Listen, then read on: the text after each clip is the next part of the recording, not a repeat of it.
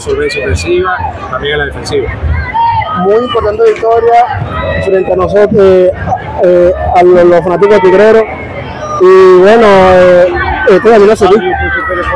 Importante lo que fue también el día de ayer, que hicieron los ajustes para hoy. El sigue funcionando, sigue haciendo las cosas bien en cuanto a lo que es el bullpen también. Tenemos que seguir enfocados porque eh, esta liga no es tan, tan pélida como se dice, pero hay que seguir enfocados porque este equipo está muy fuerte este año. Gracias.